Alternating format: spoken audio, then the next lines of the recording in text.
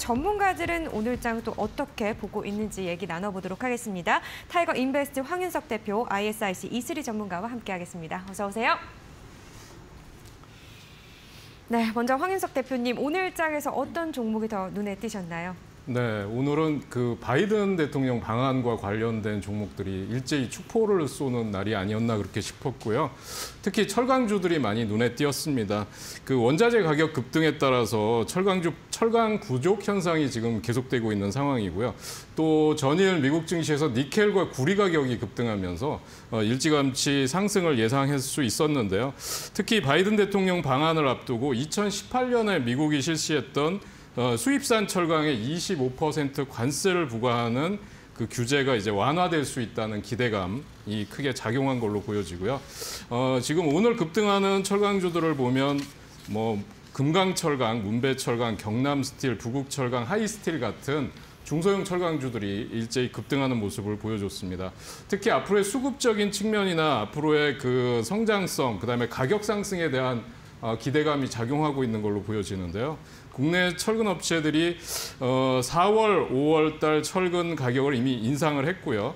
어, 또 수요도 계속 증가할 걸로 전망이 되면서 국내 철근 시장이 수요가 작년보다 지금 늘어날 걸로 예상이 되고 있고 하반기에도 역시 철 스크랩이라든지 고철 가격들이 인상될 걸로 예상이 되고 있어서 수익성은 계속해서 양호할 걸로 보여지고 있습니다. 그런데 제가 지금 물배 철강의 차트를 보여드리려고 하는데 오늘 보면 윗꼬리가 너무나 길게 달린 음봉이 나왔는데요.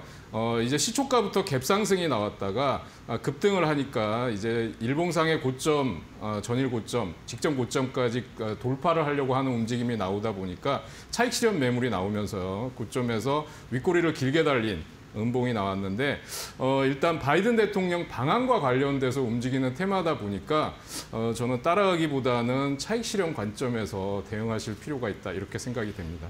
네, 오늘 장에서 아무래도 철강주들 움직임이 있다 보니 문배철강 다시 한번 좀 짚어봤고요. 오늘 7%대 강세 여전히 유지가 되고 있습니다. 또 금강철강 같은 경우 상한가까지 치고 올라갔다 지금 현재 한 16%대로 윗꼬리를 달고 있거든요. 철강주 관련해서 테마성으로 움직이는 종목들 리스크 관리 꼭 하시기를 바라겠습니다. 자, 계속해서 두 번째 종목도 확인해 보겠습니다. 이슬이 전문가님. 네, 일단 우리 기술 먼저 보시면 좋으실 것 같고요. 오늘 이제 바이든 관련해서 이제 기대감 있는 종목군들로 수급이 좀 쏠리고 있는 상황입니다. 그래서 우리 기술 같은 경우에도 어, 같은 테마다라고 좀 보시면 될 것 같고요. 다만 이제 원전 관련주다라고 네, 보시면 될 것 같습니다. 그래서 금일 이제 한미 원전 동맹 소식이 또 들려오고 있는 어, 그런 상황이죠. 그래서 앞으로 사실 원전 관련주는 어, 신정부의 가장 큰 좀 국책 과제로 어, 자리를 잡지 않을까라는 또 판단입니다. 어, 사실 이전 정부에서도 이런 이제 원전 문제를 좀 해결하지 못했기 때문에 앞으로 어, 이번 정부에서는 굉장히 좀 기대감을 좀 가져가 볼 수 있다라고 좀 판단이 되고 있고요. 또 이제 그 미국하고 SMR을 또 개발한다는 소식이 있죠. 이제 SMR 같은 경우는 이제 소형 원자로라고 보시면 될 것 같습니다.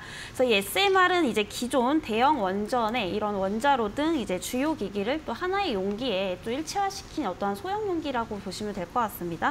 어, 그래서 사실 그동안 이제 원전이 위험성 때문에 어, 굉장히 좀 말이 많았었죠. 근데 이 안전성을 가지기 위해서는 앞으로 SMR이 굉장히 좀 필수적으로 어, 필요하다라고 좀 판단이 되고 있습니다.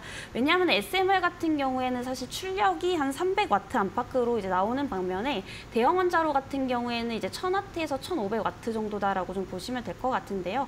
이 소형 원 소형 원자로가 이제 대형 원자로에 비해서 거의 3분의 1 수준밖에 안 되기 때문에 안정성이 어, 훨씬 더 높다라고 네, 보시면 될될 것 같습니다.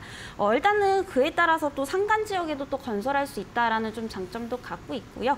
어, 이에 따라서 이번 한미 정상회담이 회담이 굉장히 좀 기대가 되고 있는 상황이기 때문에 단기적인 관점으로 어, trading 관점으로 좀 눈여겨 보시면 좋겠다라고 네, 정리를 드려보도록 하겠습니다.